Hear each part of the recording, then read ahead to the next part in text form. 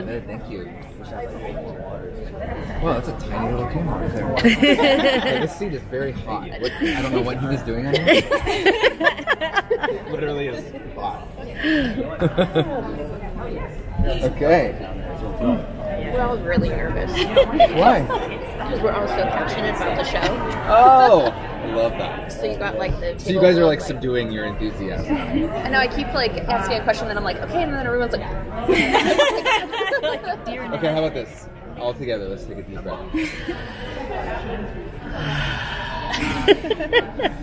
Feels good. I'm trying to like meditate more and like just really be uh, conscious. I'm a, I'm a very naturally Yeah, yeah, anxious right. person, Yes. like for no reason, which is really annoying. Like you guys are very pleasant, but I'm nervous just because maybe I'm on the spot. But I get so nervous. I couldn't sleep last night because I was like, I haven't done press in months and months, and I don't know. Well, this is my first time doing anything like this. So Really? I'm like, well, this is a fun. oh wow, I wish I knew that place before we to- started. Because I was just like, you ask a question. I'm like, this, yeah, I really have not done this at all. So. Well, welcome. This is my first Comic Con. Oh, that's exciting. Yeah, yeah. Do you geek out over anything? No, I don't. I mean, I know that's probably not the answer that you want, but I don't. I mean, I, I appreciate, but I don't geek out. Like, Yeah. yeah, I don't know. I didn't. Uh, I yeah.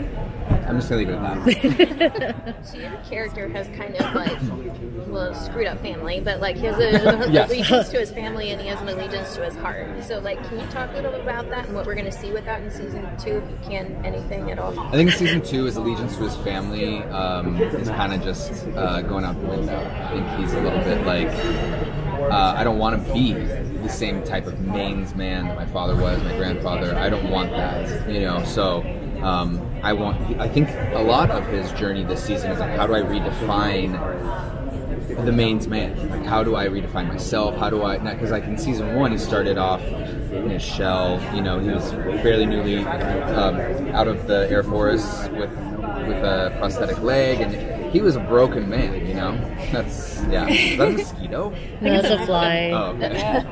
Annoying fly. um, and so I feel like this season he's really stepped into his power, and he's very. Um, I think he's angry. He's very angry. So he's starting some fights. He's like really fighting for what he wants for information from the military, from his father. Um, as you saw in season one, his father, excuse me, gets hit over the head by Kyle Valenti, puts my father in like a pretty um, vulnerable position because he's he's suffering some brain damage. He's in the hospital. So there's like a little bit of a, a power shift with with Alex and his father. So Alex now feels like you know he can ask the questions and he's going to get the answers. You know. Um, so it's really like his allegiance is now more about his heart than anything else, and he, he's going to get it wants. So it's fun. It's fun is for it him. um, building this character from like a you know veteran point of view? Because like you know you're still like you're involved in the Air Force and stuff, and just like going into that role, and, you know, researching what these um, Yeah. veterans have gone through. Yeah, I mean, kind of unfortunately, no offense to Carina or anybody, but we haven't really explored his time in the Air Force enough, in my opinion. Um, so I haven't had to do very specific research. Do you know what I mean? Yeah. Um, for me, it was more about like, what can I? I mean, I've never been to war, thank God. You know, but like, what can I? What can I take from my experience in life? You know, um, which luckily has been pretty cush, though. I can probably find something that, that would feel so um, intense. You know, it's such a it's such a purpose for someone when they join the military. That responsibility level is is amazing, and like people are are so respectable. But it's like to then feel so broken at the end of that. It's like high highs and low lows. You know what I mean? And then for you to be forever scarred.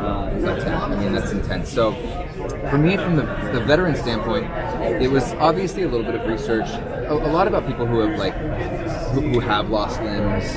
Um, you know, there's there's a lot of talk about like what side of like is it your right arm, your left arm that you hold your crutch, like you know, and, and I just really realized in doing research, it's like whatever you want, whatever's comfortable. You know, there's no rhyme or reason. There's no like correct way to like live life with a prosthetic leg, emotionally, physically, anything. You know what I mean? Um, because I was nervous about that. I was like, you, I'm re- representing like a group of people who have been through a lot, and I want to, I want to, you know, respect that. So, um, yeah. Did that answer your question? Yeah, yeah. I think it's like uh, just another layer to the character. Like on top of dealing with your family, dealing with you know your relationships, it's just this other layer that you know constantly going on. Correct. Yeah. Well, yeah. I mean, I've never played a role where every scene I have to have a prosthetic leg. Do you know what I mean? Yeah. There are certain scenes where, like, if he's just standing or, or, or walking slowly, like, you don't really have to worry about it. You know, people run marathons with prosthetics. Um, but then there are other scenes where you're like, oh my gosh, like, he wouldn't be able to do this. Like, there's a scene in one of the episodes where I, like, hop a fence. And I literally was like, I think he would have to, in this, in the way I was having to do it, like lift his own leg out. Do you know what I mean? Um, just little things like that that you that aren't written, but you kind of have to think about those things. You know, so it's intense. It's really intense. How has um, how has Alex like affected you your personal life?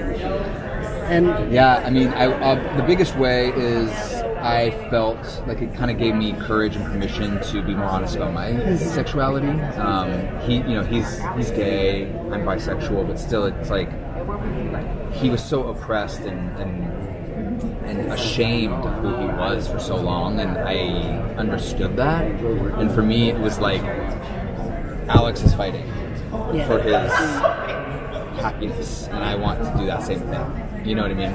Um, that's the biggest way um, that it affects my personal life, and it's really all that, that, that I can say. To be honest, and it, because it was massive. You know? Yeah. Um, it was massive for me. So yeah. Thank you guys. Thank you.